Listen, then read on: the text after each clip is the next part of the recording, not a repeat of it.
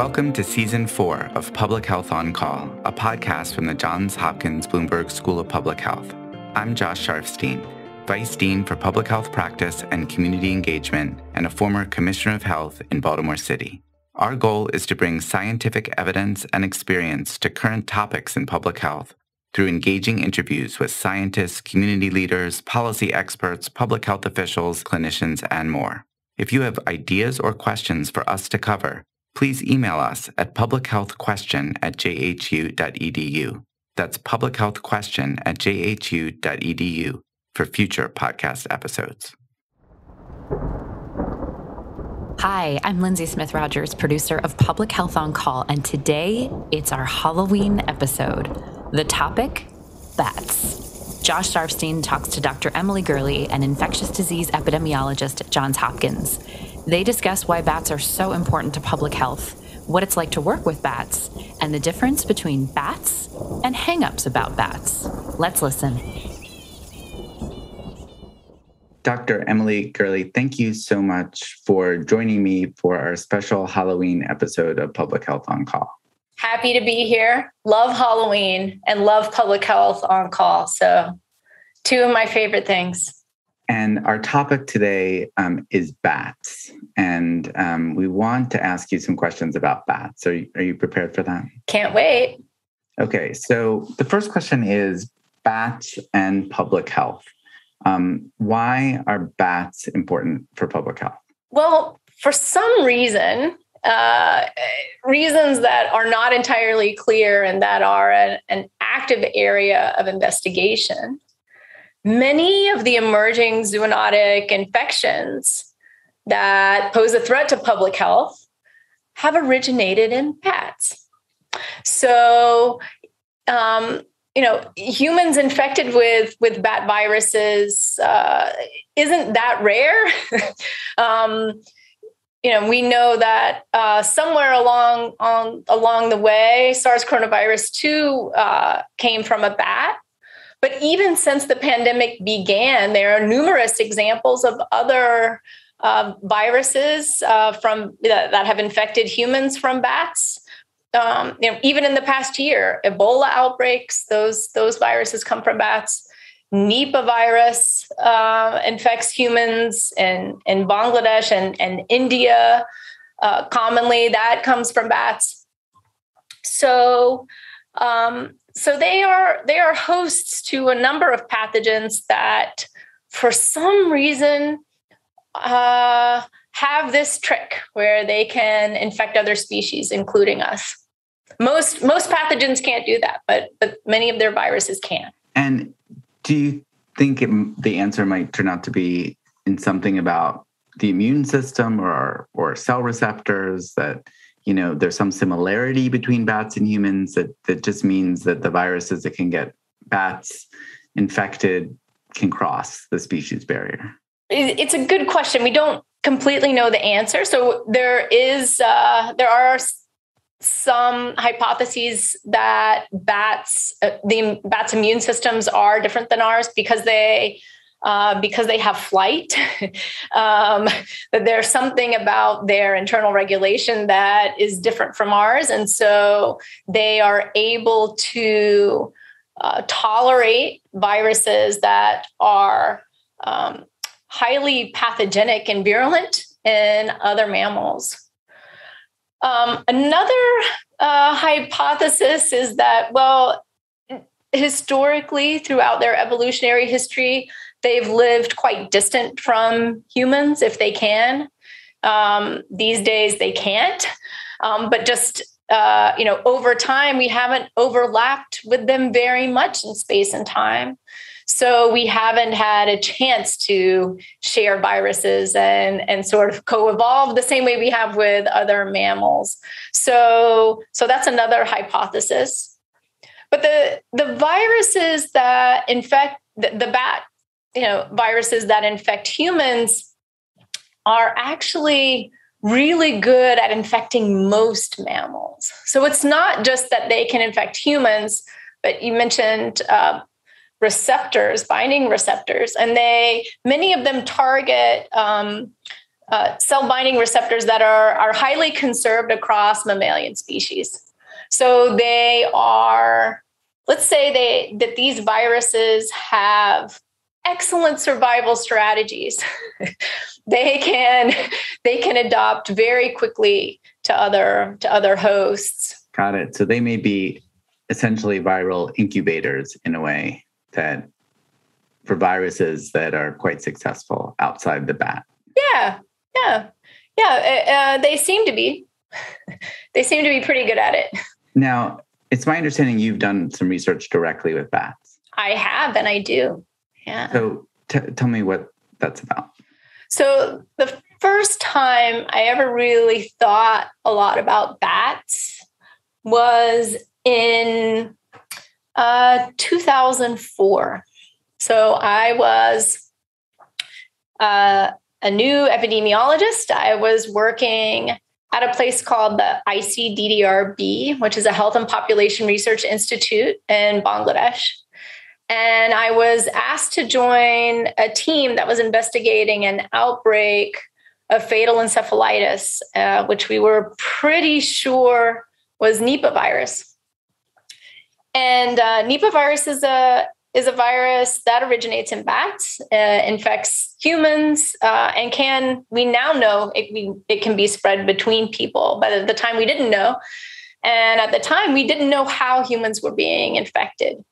So one of our goals on the investigation was to understand where the bats were and how humans could possibly be coming into contact with bats or their secretions that could have a virus in it. Um, and I've been studying those bats ever since. Um, those are uh, commonly known as flying foxes. So they they look very different than the bats we have here in North America. Um, they have some of them wingspans of up to six feet. Uh, and and their faces in fact do look very canine. Uh, they, they, do look like little foxes. They're very cute social animals and they eat fruit. So they're important pollinators and very important to the ecology. But um, yeah they carry they carry some nasty viruses. So um, you used a word that most people don't use for bats which is cute. And i'm just wondering yeah. what, what, what it was actually like to work. Did i mean by studying bats, you like near bats? Mm. I mean, like, like, did you touch bats? I hate to ask, but like, like, what is it like? What are bats like up close and personal? Sure. Okay. If you don't think bats can be cute, you should definitely Google like fruit bats or flying foxes eating fruit. There are rescue places that rescue these bats all over their you know host range. Uh, I think the site may be in Australia but they are actually they are actually very cute. Um, so these these bats that we study, uh, they're called Pteropus medius, uh, as the, that's the species name, um, and they are they are quite large. They roost in trees. So um, it, so a group of bats together is called a roost. Some bats roost in caves. These bats, though, roost in trees, um, and they their roost sizes can be in the thousands. And in, you know, back when there were more forests and and uh, less encroachment from humans into their habitat, likely tens of thousands uh, in a roost. Um, some places in Bangladesh now, the roost sizes are even quite small, even one to 200 bats living together. And they're in the roost during the day hanging upside down, as we know bats do. Um, and then in the evenings, they leave the roost and fly out. They can fly even up to 20 kilometers or so a night looking for food, foraging for fruits. Uh, and they come back. And when we study bats, what we're often trying to do are get biolog. Well, we can study where the bats live, how many bats are living in a certain place, how long they've been there. Um, but really, we're also trying to get biological samples from those bats to see if they're shedding viruses at the time um, and uh, and what their nutritional status is. Because similar to humans um, and, and some of our viruses, if they are uh, immunologically suppressed, we think that leads to greater viral shedding. So, healthy bats uh, are less likely to, to be secreting these viruses in our best estimation. So we're studying the health of the bats as well as as as what they're secreting. So we collect. So for example, we can put we put down tarps underneath the roost. When they come back in the e at night from foraging, they will often urinate and defecate on arrival, um, and then we can collect the urine and feces off the tarps. We also set up big nets and catch the bats in a net bring the net down when we when we catch a bat and then you have to work very carefully to disentangle that bat and then we um, I think the team collects. I mean, on a good night, you may catch ten bats, but then you uh, um, we keep them in pillowcases. We collect urine from them. Um, we give them a little anesthetic so that we can collect some blood, uh, oral swab, you know everybody now who's been tested at least once for covid can sympathize. They're they're getting a little you know oral swab taken uh, urogenital swab. Um, and then when they um, when they're done collecting some samples from the bats they give them some fruit juice and release them back to the roost. So um, so maybe once a month or so we go visit some of the roosts that we've been following. Gosh some of them now for more than 15 years. Um, and uh, to to really try to understand uh, the ecology of these bats and their viruses. Well, that's that sounds like quite quite an evening with bats. What you just described, and I have to say, while you were talking, I did look up flying fox bats eating fruit on the internet, and we might have to agree to disagree on just how cute they are because I think the the upside down part is still a little bit hard for the un you know unexperienced eye to totally appreciate the cuteness mm-hmm. about. But um but it sounds like um let me ask it to you this way. I'm i'm struggling to ask the question but let, let me just say um it wasn't that hard for you to get into the swing of all these different things with bats. Or or was it an acquired kind of experience for you? Okay so i'm coming at it from the perspective of uh public health. So if people are being infected with this really nasty virus, I want to know why. Mm. And part of knowing why is getting to know those bats.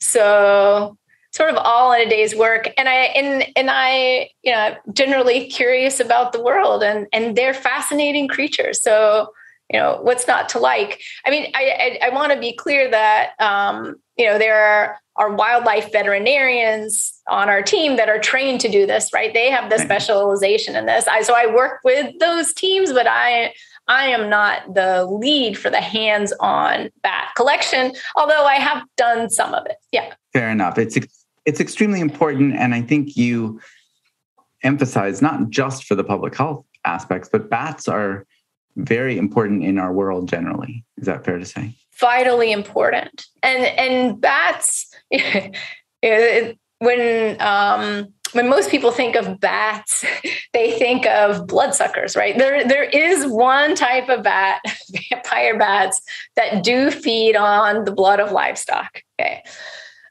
that almost all bats uh, do not do that almost all bat species in the world are either eat insects or fruit and nectar.